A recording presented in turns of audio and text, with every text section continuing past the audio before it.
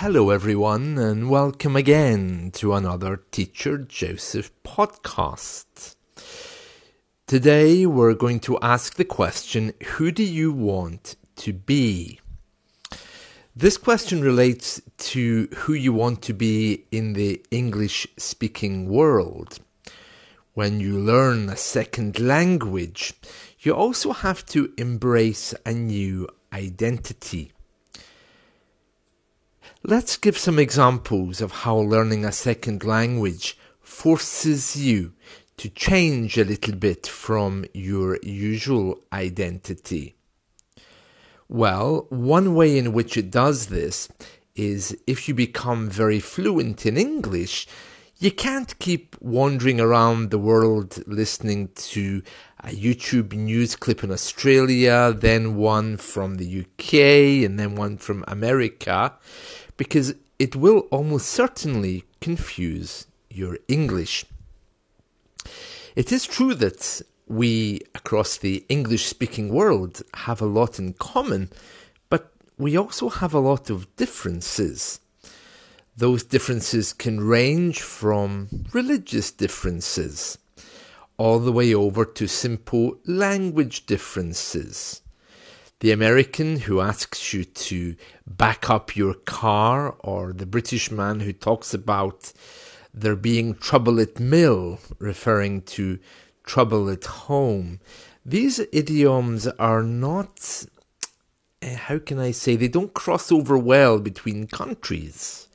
So, who you are in the English world largely depends on where you end up and also whether you allow your English to get a little bit more personal and also a little bit more regional.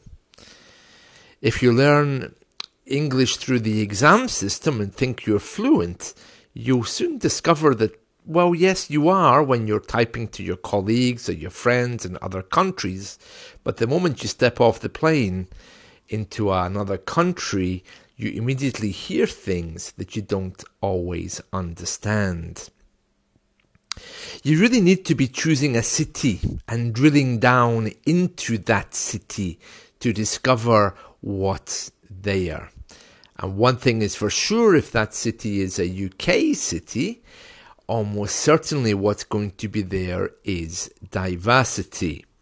So you can't assume anything and you certainly can't assume everyone will be white, speaking Queen's English, wearing shirts and ties.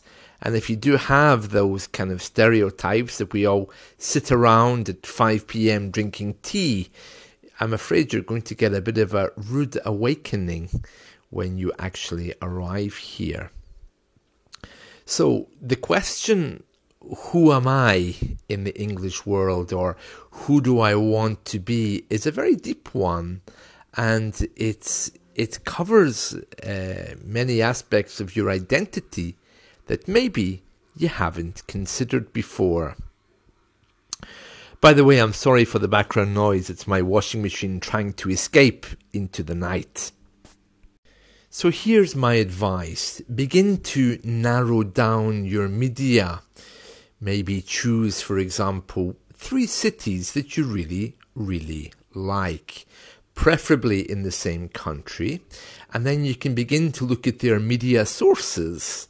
For example, the BBC in the UK have regional radio services in most cities.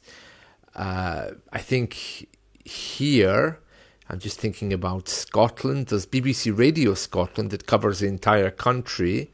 But I'm also thinking about England and London. There's BBC Radio London, BBC Radio Oxford, uh, and a whole host of others. So the first thing I recommend that you do is to begin really narrowing down what media you're listening to not only with radio but with newspapers. Google can help you with that, and that's uh, that's one of the first things that you can you can begin to look at to drill down into the culture.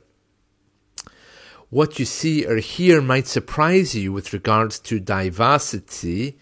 Um, there's always a festival going on for one of our subcultures, whether that's African food festivals or LGBTQ festivals, there's always something. So it really is about finding your place within the English world. Finding your place also means making friends who have things in common with you. And that might mean reaching out into groups like Facebook, for example. That would be perfect. You know, every city has a portal for buying and selling things, or even giving things away. And by reading those kinds of messages, you'll be able to pick up more colloquial and informal phrases than you would anywhere else. So it's about moving away from the standard, from the books, into reality and the way that we speak. And I can assure you that in every area of the UK, we don't all speak like newscasters. Well, that's it for me. So that's the question for today. Who do I want to be, or who am I becoming in the English world? And that really is something to focus in on, uh, which will maybe open a few doors for you before you get to your desired destination.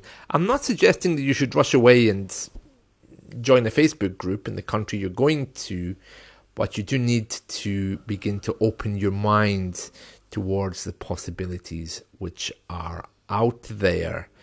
Because in the English world, there's everything, maybe much more than in your country, with regards to possibilities.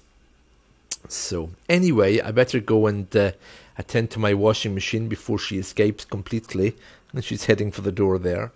Uh, okay, see you. Bye.